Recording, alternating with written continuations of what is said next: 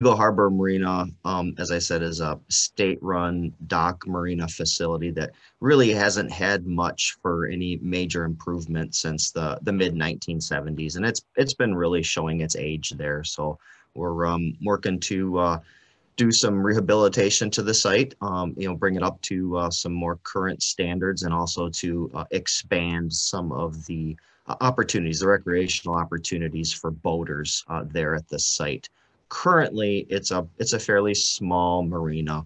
We have uh, three seasonal slip owners, so um, seasonal are people who dock their boat there for the entire season, and then three transient slips. So um, slips for people you know coming in and off the lake to uh, to dock and to stay overnight, basically. So the plan is to um, expand that offering to um, anywhere from you know maybe six to nine uh, seasonal slips at the marina.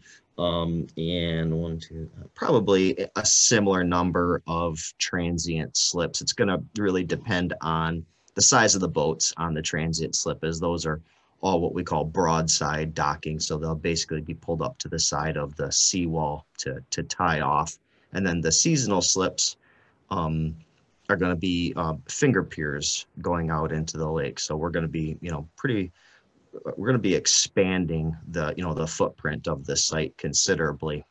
And a lot of this is all based on back in the fall of 2019 we had uh, worked with our engineers on this plan to, to, to develop the site, bring it up to the current standards.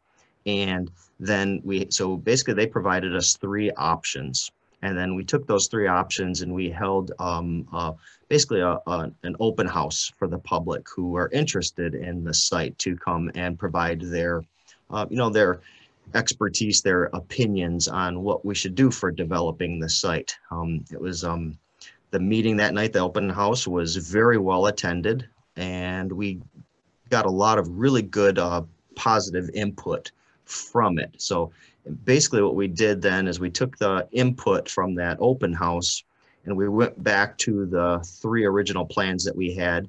And really what most of the people were looking at was some some form of a combination between plans one and two our first and two options of the plan. So we uh, we took what we uh, we could from the public input and we put it into a new plan. And that's what uh, the the new um, the current um, opportunity for the public to provide their input is to, you know, look at the new plan we have and just make sure that we captured um, all the public interests um, and, you know, are steering this in the, you know, the, the appropriate direction for future use.